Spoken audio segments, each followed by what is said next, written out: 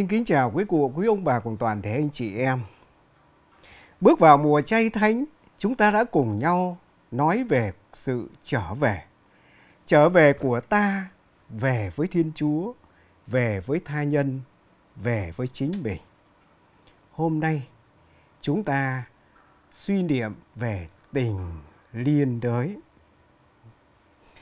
Quá thật, Thiên Chúa tạo dựng con người theo hình ảnh Chúa và như họa lại hình ảnh của chính mình. Ngài cũng là Thiên Chúa tình thương. Do đó, con người tự bản chất là tình thương. Đức Thánh Giáo Hoàng Gioan Phaolô đệ nhị đã viết: Con người không thể sống mà không có tình yêu con người sẽ là kẻ không thể hiểu được đối với chính bản thân mình. Cuộc sống con người mất nghĩa nếu không nhận lấy mạc khải về tình yêu. Nếu không gặp tình yêu, nếu không kinh nghiệm tình yêu và không nhận lấy kinh nghiệm đó làm của mình và dự phần vào đó mãnh liệt. Không có tình thương, thế giới không còn là thế giới của con người nữa. Ý thức về cái điều căn bản này. Chúng ta hãy phấn đấu để trở nên những tông đồ, những sứ giả, những người cổ vũ và kiến tạo nền văn minh tình thương. Hãy thương yêu và tương trợ lẫn nhau. Vì tình thương là căn tính, là bản chất của con người. Hãy loại bỏ sự đố kỵ, hận thù, chia rẽ và những nguyên nhân làm hại đến tình thương như bất công, kỳ thị, độc đoán, tham quyền, ích kỷ, kiêu căng, giả dối và cả tội ác. Hãy sống đúng với sự thật về căn tính của mình và giúp mọi người sống đúng với căn tính đó. Con người được tạo dựng theo hình ảnh của Thiên Chúa là sự thật và là tình thương.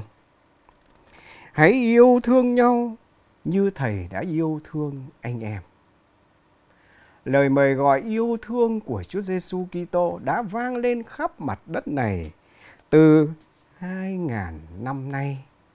Nhưng ghen ghét, oán thù, tranh chấp, chiến tranh, khủng bố, chết chóc vẫn còn và khắc nghiệt ở nhiều nơi. Thậm chí, ngay trong gia đình, trong chính bản thân mình nữa. Có thể nói thế giới nghèo tình thương sống trong một xã hội không những nghèo về kinh tế mà nhất là về những giá trị tinh thần như đạo lý, công bằng, tình thương, sự thật, tự do, độc lập, đoàn kết, hòa bình, lương tâm, tình liên đới, tinh thần, trách nhiệm, vân vân và vân vân. Sự xấu, những con người ờ, thật công bằng, để giảm bớt sự bất công.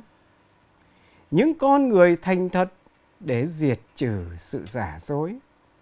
Những con người thánh thiện để giảm trừ tội lỗi là điều chúng ta phải phấn đấu. Đấy. Chúng ta thường nhận mình là Kitô hiểu đấy. Nghĩa là Chúa Kitô đang hiện diện trong chúng ta. Thì hãy để người sáng rực lên trong bản thân và trong đời sống của chúng ta biến chúng ta trở nên những người kiến tạo nền văn minh, tình thương và sự thật. Thế giới nghèo tình thương, trong đó có trách nhiệm cá nhân của mỗi người chúng ta. Chúng ta phải sám hối. Đức thánh cha viết, mùa chay là thời điểm thích hợp để thể hiện sự quan tâm đến tha nhân bằng những hành động nhỏ nhưng cụ thể cho thấy chúng ta thuộc về một gia đình. Chúng ta cần phải hoán cải. Vì nỗi đau của người khác ấy là lời kêu gọi hãy ăn năn sám hối.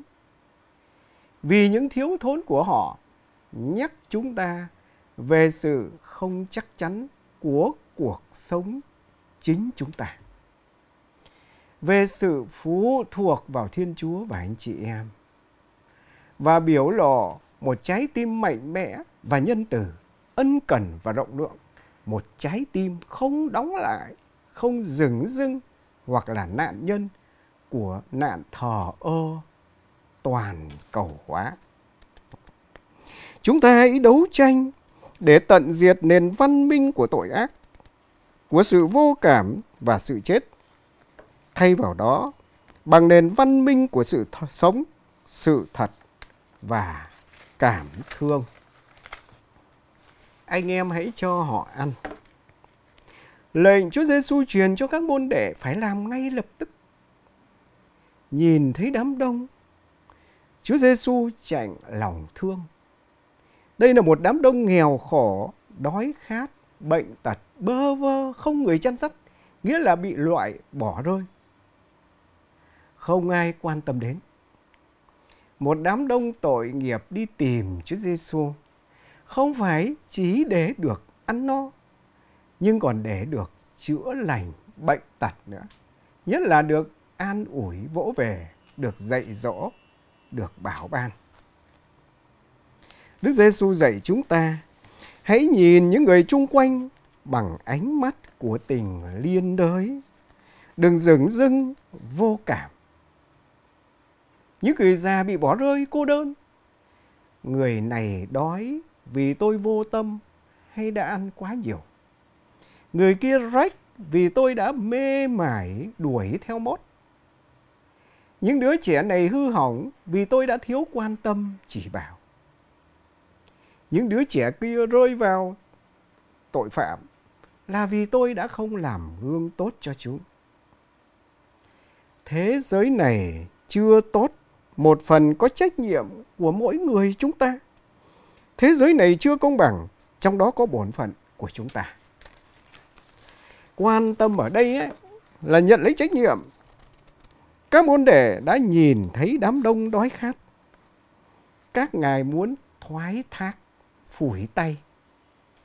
Nơi đây hoang vắng và đã muộn rồi. Vậy xin thầy giải tán đám đông để họ đi vào các làng mạc mua lấy thức ăn. Đó là một giải pháp hợp lý. Lo cho 5.000 người ăn là ngoài tầm tay của các môn đệ. Đó cũng là giải pháp nhẹ nhàng, ai lo phần nấy, thật dễ dàng. Nhưng đó là giải pháp không được Chúa chấp nhận. Tại sao vậy? Tại vì thiếu tình liên đới. Triệu chứng của sự thờ ơ xuất hiện. Gặp người có hoàn cảnh khó khăn, hoạn nạn mà không thấy xót xa. Thương cảm, không muốn ra tay giúp đỡ dù có điều kiện. Đứng trước sự bất công, xấu xa, gian dối mà không thấy phẫn nộ, nhức nhối. Thấy những điều cao đẹp mà không ngưỡng mộ, cảm phục.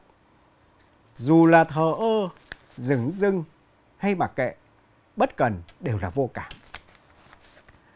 Chúa muốn loại bỏ sự vô cảm nơi các môn đệ. Người phán, họ không cần phải đi đâu cả. Chính anh em, hãy lo cho họ ăn. Họ đói, các con phải lo cho họ ăn. Một trách nhiệm nặng nề vượt quá sức các môn đệ. Nhưng đã đồng cảm thì phải có trách nhiệm. Trái tim cảm thương thật sự phải hướng dẫn bàn tay làm việc. Đồng cảm là đóng góp phần mình. Chúa không cần những phép tính vĩ mô. Năm ngàn người thì cần bao nhiêu bánh? những tính toán lớn lao là không thực tế và làm cho chúng ta lo sợ. Chúa dạy các môn đệ phải khởi đi từ thực tế. Có ít hãy đóng góp ít, nhưng quan trọng là phải bắt đầu, là phải góp phần mình. Đồng cảm không đòi ta phải quán xuyến mọi sự, nhưng đòi ta góp phần mình vào việc chung. Đồng cảm là chia sẻ. Chúa Giêsu chúc tụng để làm phép bánh và cá như cho ta thấy. Những đóng góp dù ít ỏi của ta cũng thành thiêng liêng cao quý. Chúa không làm phép lạ tức khắc biến ngay cá và bánh ra một núi lương thực cho mọi người, tự do đến lấy. Chúa cũng không tự tay phân phát lương thực cho mọi người. Chúa trao bánh và cá cho các môn đệ. Các môn đệ trao cho mọi người. Và mọi người trao lại cho nhau. Đó là bài học lớn của phép lạ.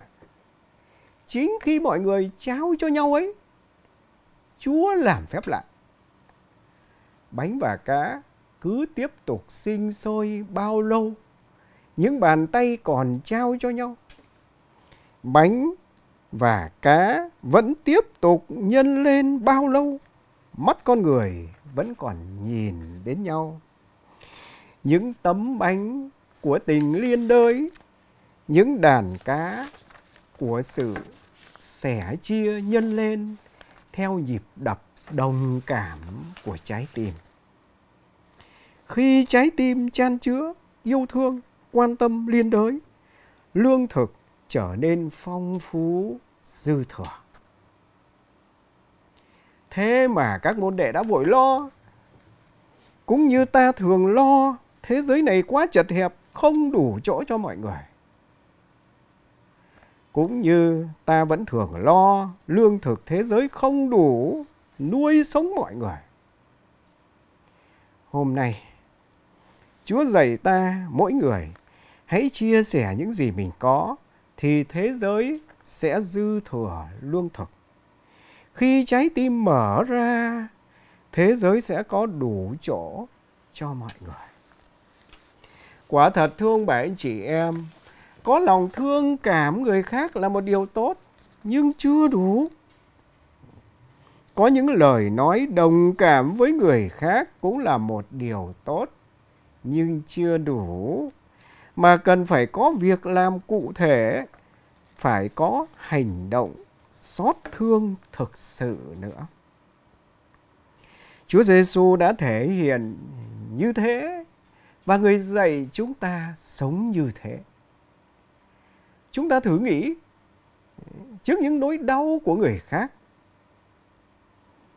trước những sự túng thiếu của người anh em, ta có thái độ như thế nào? ngoảnh mặt làm ngơ hay bưng tai giá vờ làm điếc? Không thể chấp nhận được. An ủi khích lệ cảm thông ư? Tốt rồi thế nhưng chưa đủ mà phải biết chia sẻ giúp đỡ chúa không đòi chúng ta làm những việc to lớn nhưng đòi chúng ta biết chia sẻ phải biết làm và cho những gì trong tầm tay, trong khả năng của mình. Phần còn lại, Chúa sẽ thực hiện. Ngạn ngữ phương Tây có nói, giúp người thì trời giúp cho. Việt Nam chúng ta cũng thường nói, ở sới nới thì trời cởi cho, ở xén so thì trời co tay lại.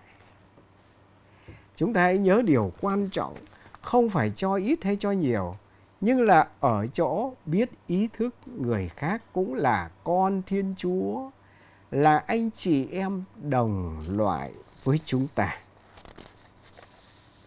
Tôi còn nhớ trong một lá thư mục vụ mùa chay của Đức Cố Hùng Y Phaolô Giuse Phạm Đình Tụng. Ngài viết, hãy mở mắt ra mà nhìn, mở lòng ra mà thương rộng tay mà chia sẻ với năm chiếc bánh và hai con cá mà Chúa đã đặt vào tay ta. Năm chiếc bánh và hai con cá ấy là sức khỏe, là tuổi trẻ, là con đàn cháu đống, là điều kiện hơn người. Ngài viết tiếp, vì đạo của chúng ta là đạo của tình thương. Về khoa học chúng ta vụng về. Về văn hóa chúng ta thấp kém. Về văn minh chúng ta quê mùa. Chúng ta có thể thua họ nhiều điều.